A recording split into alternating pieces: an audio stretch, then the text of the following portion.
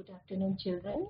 My name is Mini Srivastav. I am a lecturer in Government High Secondary School from the district Sivo.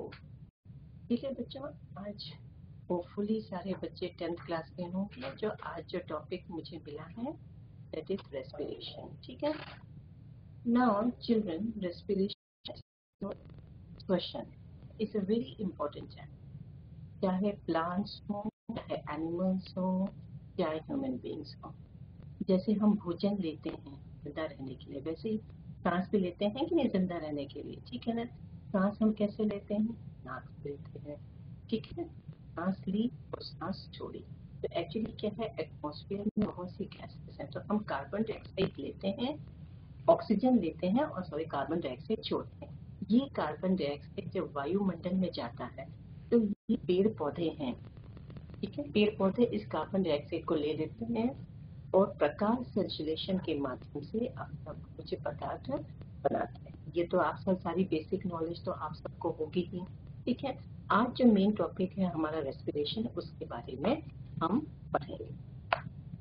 जब हम सांस लेते हैं तो उसे हम कहते हैं रेस्पिरेशन इंस्पायरेशन जब हम सांस छोड़ते हैं कार्बन डाइऑक्साइड तब उसको बोलते हैं एक्सपायरेशन ये दो चीज़ें होती हैं।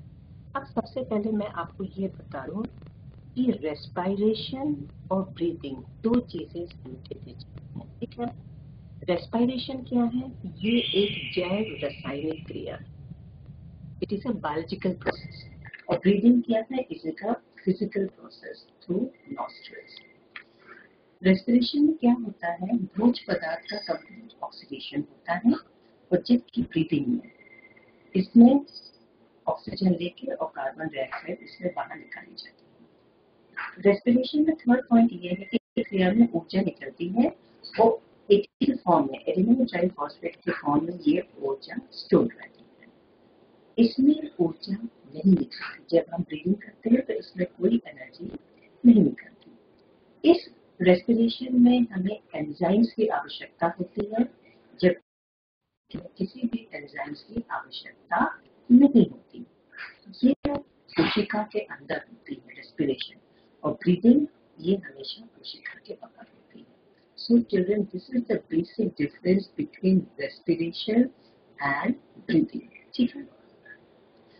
अब अगर हम ह्यूमन बींग्स को लें, ठीक है ना? ह्यूमन बींग्स को अगर हम लेते हैं तो हमारा रेस्पिरेटरी ऑर्गन क्या है? किससे हम सांस लेते हैं? दो फेफड़े इज़ क्लियर सबको समझ में आ रहा है? Clear? Yes or no? Are you able to listen to me, children? Just raise your hands. Can you listen to me? Can you listen to me? Okay. आवाज़ नहीं आ रही मैडम आपकी what happened? हमारे पास आपको माहौल हमने ये बताया कि सांस लेते हैं सांस हमने कहाँ से ली नाक से ठीक है हमारे पास टू इम्पोर्टेंट लंग्स है जहाँ पे गैसों का आदान प्रदान होता है जैसा कि आप चित्र में देख रहे हैं ये मैंने स्ट्रक्चर आपको बनाया है, ये लंग्स है, ठीक है? फेफड़े एक्चुअली होता क्या अगर हम स्टार्ट करें विद रेस्पिरेटरी ऑर्गन सबसे पहले जब हम नॉस्ट्रल से लेते हैं तो मैं आपको वॉइस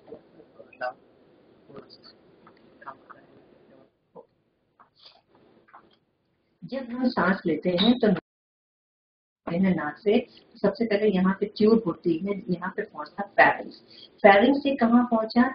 एरिंग्स में आपको मालूम है कि हमारे गले में फुट पाइप और विंड पाइप दोनों साथ साथ चलते हैं। क्लियर जब हम भोजन लेते हैं तो भोजन भी हम मुँह से लेते हैं और सांस कहाँ से लेते हैं? नाक से लेते हैं। तो इस पोर्शन में फेरिंग्स पोर्शन में दो ट्यूब्स साइमल्टेनियसली बिल्कुल चलती हैं।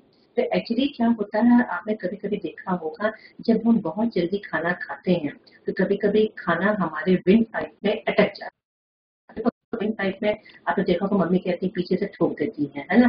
कि पीछे से ठोक दिया, ये कहती है, पानी पी लो, कुछ खा लो, ताकि वो सड़ जाए ताकि वो अटके नहीं है ना? तो दो टाइम तो एक्चुअली जो हमारी जो बनावट जो है, यहाँ फेरेंस में wind pipe and food pipe साथ साथ चलती है तो यहाँ पे एक एपिग्लोटिस होता है ग्लोटिस एंड एपिग्लोटिस तो एपिग्लोटिस जो होता है, वो ग्लोटिस को कवर करता है इस लाइक अ ढक्कन, ताकि वो खाना हमारे विंड पाइप में ना जाए ठीक है to glottis and epi epiglottis is just like a lid. It just covers the glottis so that the food material from the food pipe not enters the windpipe. Clear? So pharynx से larynx में पहुंचा. Larynx, as you know, is a sound box.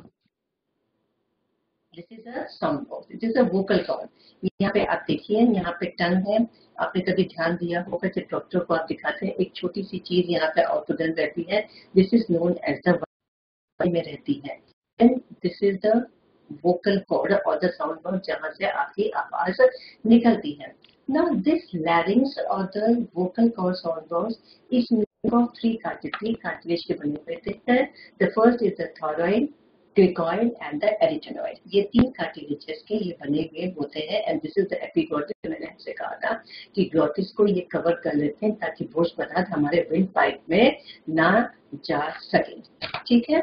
So from the nostril the air entrance to pharynx the pharynx entrance to the larynx and larynx to the trachea now trachea अगर आप देखें तो ये छोटे छोटे जैसे अल्फ़ाबेट सी होते हैं it is made up of cartilaginous rings. Okay. Now this trachea is made up of cartilaginous rings and it is further divided into the first one is the bronchus. ये bronchus आगे जाकर bifurcation होता है bronchi.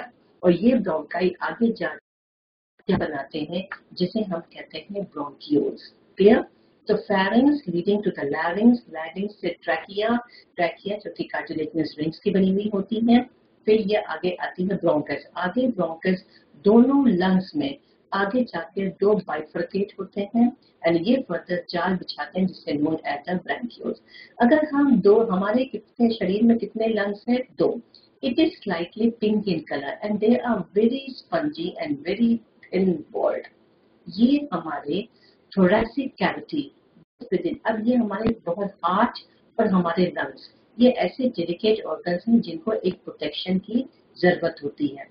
तो ये हमारे thoracic cavity में sternum vertical column और आगे रिब्स रहती हैं ताकि इनको धक्का ना लग सके शॉक न लग सके। सो अब these are very important organ to be protected in your body नीचे आप देख रहे हैं इस दोनों लिंग्स के बीच में लेफ़्ट साइड में आपका हार्ट सिचुएटेड होता है। So mainly our focus on the lung ये लंग्स कैसे हैं? It is like a pink in colour They are very spongy. They are very light. Now ये जो आपके जो lungs हैं, right and left lungs, ठीक है? जो आपका लेफ़्ट है इसमें कितने हैं आपके टू लोब्स हैं और जबकि राइट में है आपके ये three partitions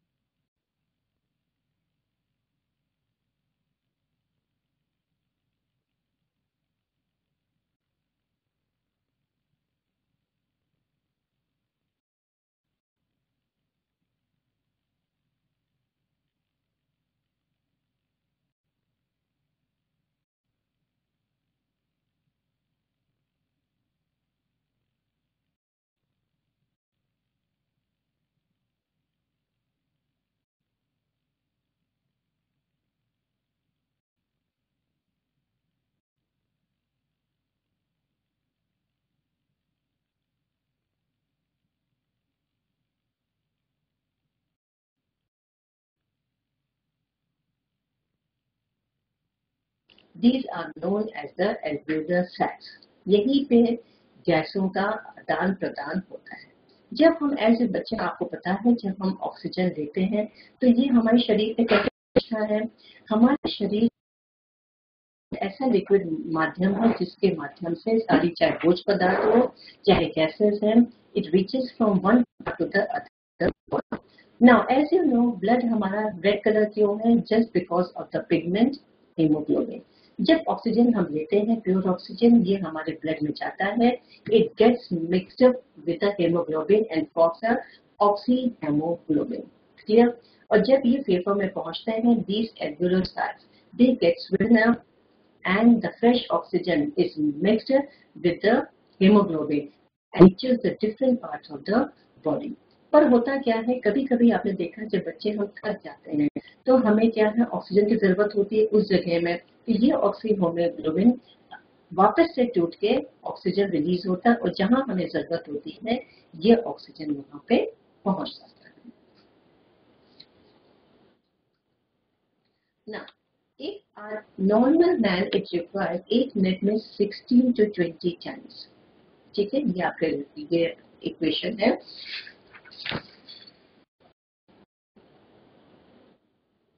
Now it's clear children.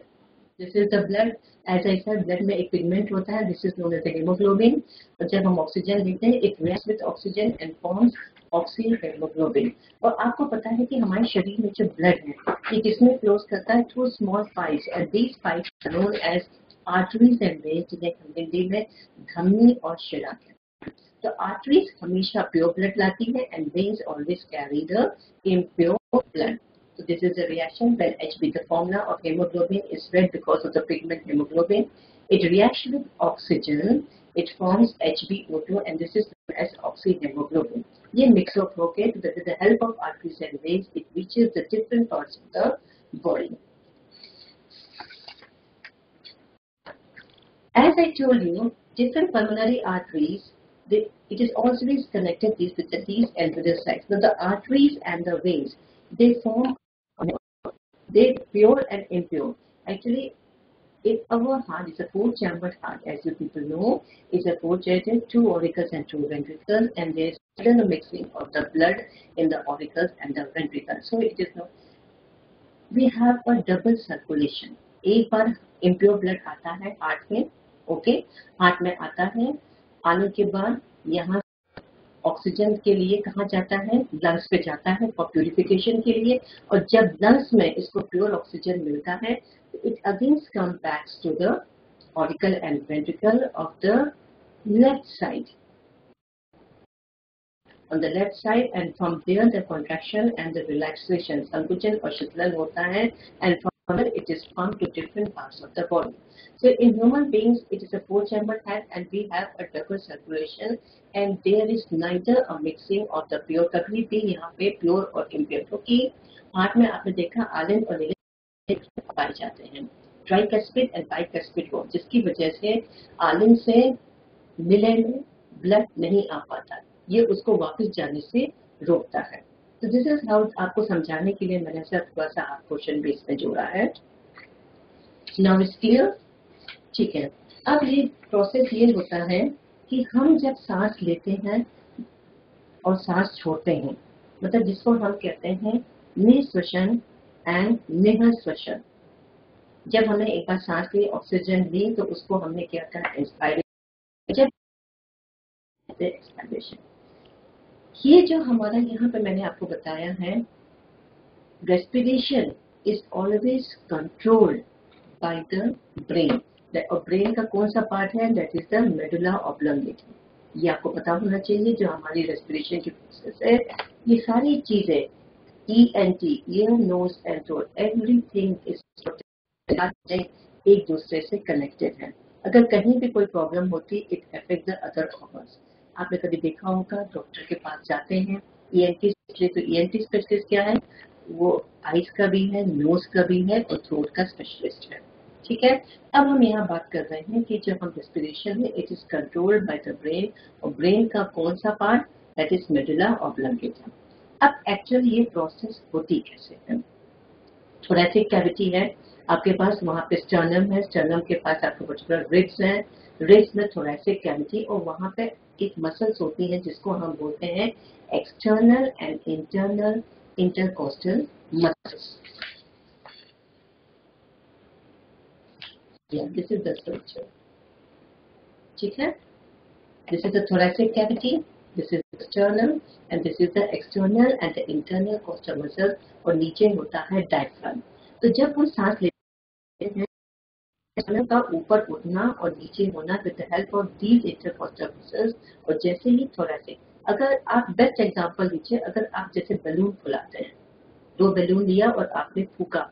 जब आप सांस लेते हैं, क्या होता है महसूस करिए आपकी जो थोरेसिक कैविटी इंक्रीज होती है स्टर्नल भी आपकी रेज हो जाती है। ठीक है? यहाँ आप महसूस करिए अपने खुद जब ब्रीथ ठीक है?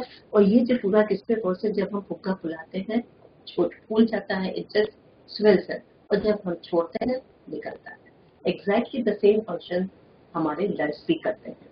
मैं एक्चुअली क्या होता है नील श्वसन में, इस क्रिया में, मस्तिष्क में श्वसन क्रिया में आने वाले अंतर जो इंटरकोस्टल मसल्स है, वो क्या है? कॉन्ट्रैक्ट एज अ रिज़ल्ट जो हमारी रिब्स हैं, वो थोड़ा सा आगे और बाहर निकलती हैं और स्टर्नम नीचे की ओर थोड़ा सा झुक जाती है।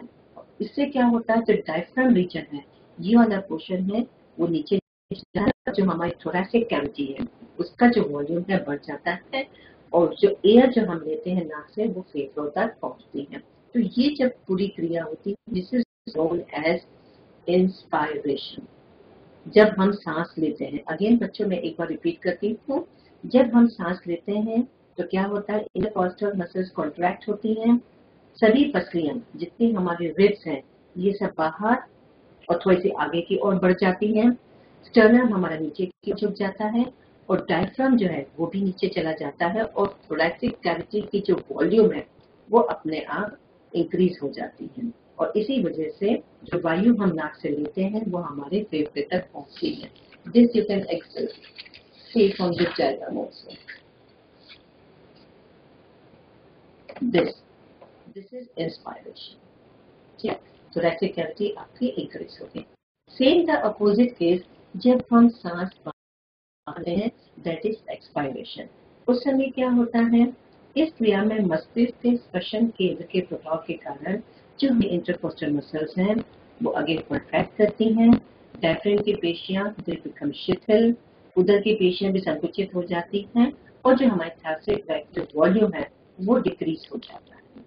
और उसका वॉल्यूम इंक्रीज फलता जो हमारे लंग्स हैं, वो उसका ताप अधिक हो जाता है और फेफड़े के वायु बाहर निकल जाती है in diagram just opposite of the inspiration तो ये जो डायग्राम है दिस इज़ इंस्पायरेशन और ये जो है एक्सपायरेशन तो ऐसे ग्रेविटी का with the help of two muscles two muscles are ये आपको इस डायग्राम से बहुत ही क्लियर समझ में आएगा, ये देखिए। जैसे ही इनमें संकुचन और शिथिलन होता है contraction and relaxation the sternum goes up and down and the thoracic volume of the thoracic cavity increases and decreases simultaneously in the case of inspiration and और हिंदी में जिसे हम कहते हैं निश्वसन and निह swashan. Now it's clear बच्चों? Is it clear to you? Diagrams are clear? Diagrams are clear? No, yes or no? Is it clear? Can you hear my voice? आप मेरी आवाज़ सुन सकते हैं? सुन सकते हैं? ओके ओके ना अब ये जो रेस्पिरेशन है session these of two types aerobic and anaerobic respiration जिसे हम इंग्लिश में कहेंगे, हिंदी में कहेंगे ऑक्सी श्वसन एंड अनऑक्सी श्वसन ये कितने टाइप्स के हो गए? दो। अब हम इसका बेसिक डिफरेंस पढ़ेंगे। ऑक्सी और अनऑक्सी सेशन में बेसिक डिफरेंस क्या है? ऑक्सी जैसा नाम है, इसमें ऑक्सीजन की हमें महसूस होती है, जबकि अनऑक्सी में हमें ऑक्सीजन की ज़रूरत महसूस नहीं होती। इसमें भोज पदार्थ का पूर्ण रूप से ऑक्सीकरण होता है। Complete oxidation of the food material और जब भी इसमें और अनऑक्सी में इसमें अपूर्ण incomplete oxidation of the food material इसका जो लास्ट प्रोडक्ट बनता है दैट इज़ कार्बन डाइऑक्साइड और इसमें carbon dioxide and alcohol as you can see the reaction this is the food material C6H12O6 जब ये कंबाइन करता है, किसके प्रेजेंस में? एरोबिक है in the presence of oxygen इन्होंने क्या बनाया और क्या निकाला? एंड प्रोडक्ट क्या बना?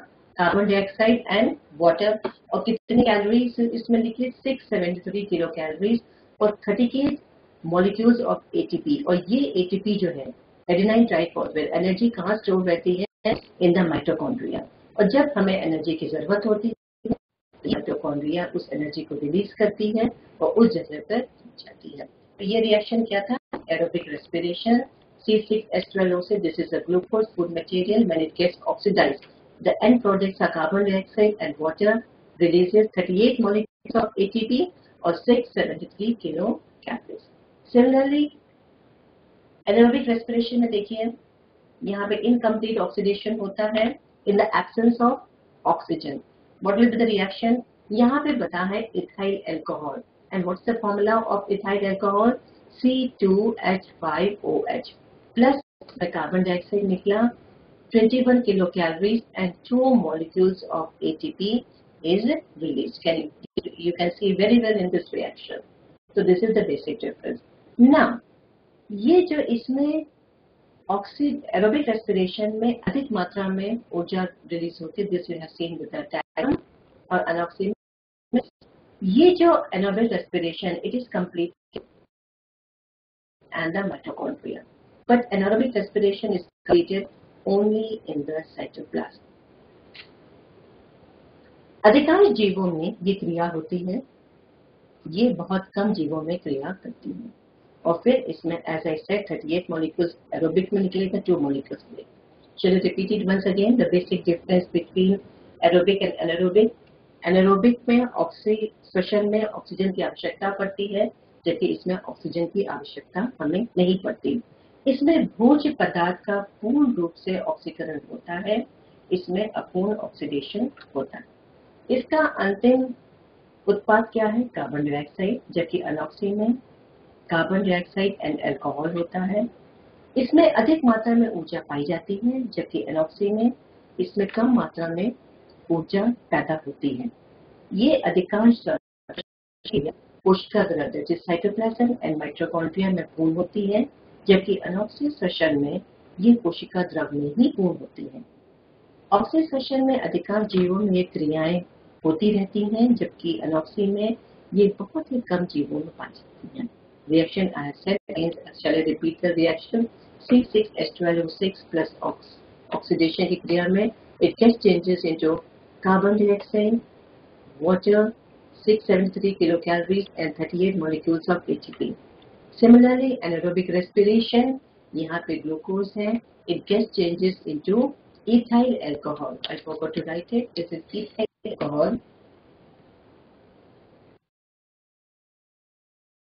and carbon dioxide plus twenty four kilo calories and two molecule तो ये तो हुआ सो अभी तक जो आपने पढ़ा सबसे पहले आपने ये देखा कि रेस्पिरेशन क्या इंस्पायरेशन एक्सपायरेशन में basic difference the two types that is the aerobic respiration and और फिर आपने स्ट्रक्चर देखा कि स्ट्रक्चर और फिर ये फ़ंक्शन किस तरीके से करता है। अब आपने ये भी देखा है भाई रेस्पिरेशन चाहे प्लांट्स हो, चाहे एनिमल्स हो, चाहे सभी ज़िंदा के लिए के प्लांट्स जैसे कैसे रेस्पायर करते हैं? प्लांट्स में अगर आप पत्तियों को देखें पत्तियों के जस्ट नीचे एक छोटे छोटे छिद्र पाए जाते हैं। और इस स्टोमेटा के माध्यम से गैसों का आदान प्रदान होता है। ऑक्सीजन कार्बन डाइऑक्साइड और ऑक्सीजन का आदान प्रदान होता है। किसी में ये स्टोमेटा ऊपर और नीचे पत्ती के दोनों साइड में पाए जाते हैं और किसी में सिर्फ़ नीचे पाए जाते हैं। तो it depends upon the plant इसी के माध्यम से इनका गैसों का आदान प्रदान होता है। ठीक है, हम ऑक्सीजन देते हैं कार्बन डाइऑक्साइड वापस एटमोस्फेयर में जाता है और ये कार्बन डाइऑक्साइड प्लांट्स इसको एब्जॉर्ब कर देते हैं और अपना with the help of Prakash circulation photosynthesis they manufacture their own food material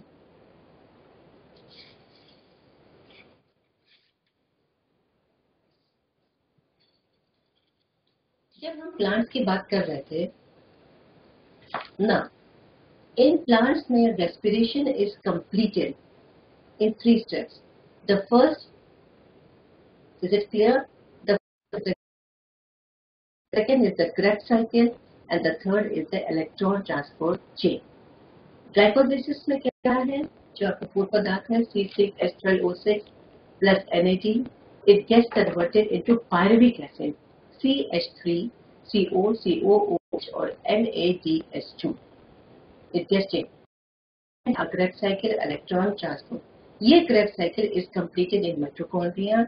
इसको हम ये भी कहते हैं ट्राई कार्बो ऑक्सिलेट एसिड बच्चों, कभी आपने ध्यान दिया होगा कि जब हम बहुत अधिक काम कर लेते हैं या हम बहुत थक जाते हैं तो हमें बहुत थकान महसूस होती है, हाथ पैरों में बहुत दर्द होता है तो कभी आपने सोचा कि ये क्यों दर्द होता है हमारा किसी काम में मन नहीं लगता। तो एक्चुअली क्या होता है जब हम बहुत थक जाते हैं या काम कर लेते हैं तो हमारी जो मसल्स है दे गेट जाती है वहाँ पे लैक्टिक एसिड बन जाता है। लैक्टिक एसिड का जमाव हो जाता है। ये लैक्टिक एसिड कब बन, कैसे बनती है? एनारोबिक रेस्पिरेशन में ग्लाइकोलिसिस की क्रिया होती है जिसमें पायरविक एसिड बनता है। ये pyruvic acid gets converted into lactic acid ये लैक्टिक एसिड हमारे उसमें जमा हो जाती है और जब हम रेस्ट करते इसी वजह से हमें बहुत हमारी मसल्स बहुत पेटी और हमें बहुत खराब लगती है। और जब हम थोड़ी देर लेट जाते हैं, आराम कर लेते हैं तो यही मसल्स हमारे नॉर्मल कंडीशन में आ जाती हैं and we are again back to work तो ये ये हम चाह रहे थे कि आपको तब मन में प्रश्न होता है कि हम थक जाए तो होती है कि हम हमें किसी काम में मन नहीं लगता। तो it is just because of the lactic acid जो कि ग्लाइकोलाइसिस एरोबिक रेस्पिरेशन में जो ग्लाइकोलाइसिस की जो क्रिया होती है इसमें पायरविक एसिड बनता है and this pyruvic acid converted into lactic acid और ये हमारे शरीर में टिश्यूज और उसमें जाके जमा हो जाती है, जिसकी वजह से हमें बहुत थकान लगती है। और जब हम रिलैक्स होते हैं, हम जब आराम कर लेते हैं तो ये मसल्स वापस अपनी वर्किंग कंडीशन में आ जाती हैं। और हम नॉर्मल महसूस करना शुरू कर। अब एटमॉस्फेयर में हमारे पूरे वायुमंडल में एयर है यू you नो know, आपको एयर है। The air we 78 percent of the nitrogen, 21% of the oxygen and 0.03% of the carbon dioxide. ठीक है? जो हम एयर ब्रीथ करते हैं ये पूरे वायुमंडल में ऑक्सीजन भी नाइट्रोजन भी है कार्बन डाइऑक्साइड भी है। तो what is the percentage nitrogen it करते हैं twenty percent of the oxygen and 0.03 of the is the carbon dioxide. ठीक है? ये तो क्या? अब हम ह्यूमन बींग्स का तो वी हैव स्टडीड अब हम जानते हैं जंतुओं में भी अलग अलग जंतुओं में अलग अलग तरीके से रेस्पिरेशन होता है। से फॉर एग्ज़ाम्पल अर्थवॉर्म केचुआ हैव यू सीन केचुआ केचुआ देखा है सबने? देखा है कि नहीं देखा? अर्थवॉर्म देखा है सबने? अर्थवॉर्म कहाँ देखा है? कहाँ देखा है? खेत में देखे हैं? खेत में देखे जब बरसात होती है केचुआ रेट में, आपने देखा होगा ये किसान लोगों के लिए बहुत ही वरदान है। क्यों वरदान है? Can tell me why it is a boon for the farmers जब हम खेतों में खाद वाद डालते हैं, ये केचुए जो वर्मी पॉट कंपोस्ट खाद बनता है इसमें डालते हैं कि ये हमारी भूमि की उर्वरा शक्ति को बढ़ाते हैं। It increases the fertility of the soil क्योंकि ये कैसे रहते हैं? ये केचुए और ये ज़मीन के नीचे रहते हैं, बरोज में रहते हैं। तो जब ये हम इसमें खाद डालते हैं तो ये केचवे मिट्टी को नीचे से ऊपर ऊपर से नीचे लाते हैं और ये पूरे मिट्टी में जो खाद हम डालते हैं इट गेट्स मिक्सड तो it is very important for farmer और कंपोस्ट जो बनता है, उसमें भी अर्थवॉर्म मिलाए जाते हैं। तो अब ये प्रश्न है कि अर्थवॉर्म सांस कैसे लेता अर्थवॉर्म आपने देखा है, बहुत चिपचिपा लस लसा सा पकड़ में नहीं आता, है ना? और ये कैसे तो पीछे से चलना शुरू करते हैं, पीछे से इनको धक्का दो तो ये आगे दोनों तरफ़ से। बहुत पतले, इनकी स्किन बहुत ही मॉइस्ट तो ये अपने स्किन के, चमड़ी के माध्यम से ही रेस्पायर करते हैं। इसलिए लिखा है स्किन रेस्पायर थ्रू स्किन अपने स्किन से क्यूटेनियस स्किन से ये रेस्पायर करते हैं। मछलियाँ फिशेस मछलियाँ देखी हैं? इनके साइड में ऐसे छोटे छोटे स्लिट्स रहते हैं, जिसे हम गिल्स कहते हैं, जिसके माध्यम से ये रेस्पायर करते हैं। पाइला पाइला देखा है? ये पाइला मोलस्का को बिलोंग करते हैं। शंख वाले कीड़े होते हैं, पाइला, ठीक है? ये किससे रेस्पायर करते हैं? With the help of pulmonary cell scorpion बिच्छू, इनका रेस्पिरेटरी ऑर्गन होता है बुकलम्स जिसके माध्यम से ये रेस्पायर करते हैं।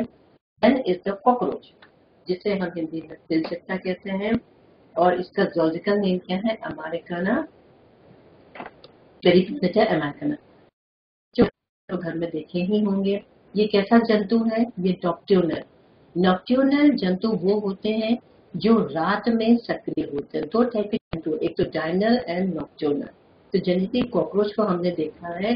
They are very active during the night जब खाना किचन उचन बंद हो गया, ये अपने निकलते हैं दे हैव टू एंटीनास इसके माध्यम से वो अपना फ़ूड लोकेट करते हैं और भोज पदार्थ अपना खाते हैं। तो कॉकरोच का रेस्पायरेटरी ऑर्गन क्या है? रेस्पायरेटरी ट्रैक्ट अगर हम ग्रास हॉपर का देखें, चिंतन। में सश्वर अथवा गैसी आदान प्रदान इसमें विशेष प्रकार की महीन नलिकाएँ होती हैं, जिसे हम श्वास नलिका भी कहते हैं। श्वास नलिका शरीर में प्रवेश के पश्चात विभाजित डिवाइड एंड डिवाइड होकर श्वसन नलिकाओं का जाल जैसा बना लेते हैं।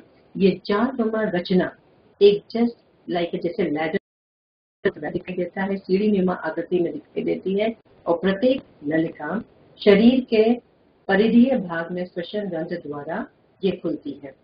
तो इस तरीके से ये ग्रास हॉपर ये रेस्पायर करता है। तो I am repeating it once again grasshopper में गैसे आदान प्रदान तथा परिवहन विशेष प्रकार की महीन नलिकाओं द्वारा होता है, जिसे हम श्वास नलिका कहते हैं। श्वास नलिका, शरीर में प्रवेश के पश्चात विभाजित और अविभाजित होकर श्वास नलिकाओं में बिल्कुल जैसे फाइन नेटवर्क जाल और ये बिल्कुल कैसा दिखाई देता है, सीढ़ी नुमा आकृति का बन जाता है। और ये प्रत्येक नलिका शरीर में वृद्धि भाग में श्वास तंत्र द्वारा ही खुलती है। तो कभी कभी बच्चों ये आपके क्वेश्चन आ सकता है कि आपको इंसेक्ट का नाम दे दिया जाए और कहें कि इसका रेस्पायरेटरी ऑर्गन क्या क्या है। से फॉर एग्ज़ाम्पल जैसे अर्थवोम है, उसका रेस्पायरेटरी ऑर्गन आपका स्किन है फ़िश है तो उसके गिल्स है, पाइला है तो स्कॉर्पियन उसका बुकलम्स कॉकरोच रेस्पायरेटरी ट्रैक अब हम एक बार इसका स्ट्रक्चर हम एक बार और अगर रिवाइज कर लें आई होप आपको ये समझ में आया होगा। रेस्पायरेटरी सिस्टम बच्चों रेस्पिरेटरी सिस्टम को अगर हम एक बार और से फिर समझे ह्यूमन बींग्स का मेन रेस्पिरेटरी ऑर्गन है लंग्स ठीक है? सांस लेना बहुत ज़रूरी है। ये दो हैं, कितने हैं हमारे पास? दो हैं। They are pink in colour they are very spongy thin walled thoracic cavity में रहते हैं और इन दोनों के बीच में आपका लेफ़्ट साइड में heart situated lungs and the human beings as situated and covered with the ribs and they are attached to the sternum different. जब हम सांस नाक से लेते हैं nose it enters the pharynx pharynx से larynx में घुसता है larynx and that and then it enters to the trachea larynx में हमने कहा था it is it is made up of three cartilages cricoid arytenoid and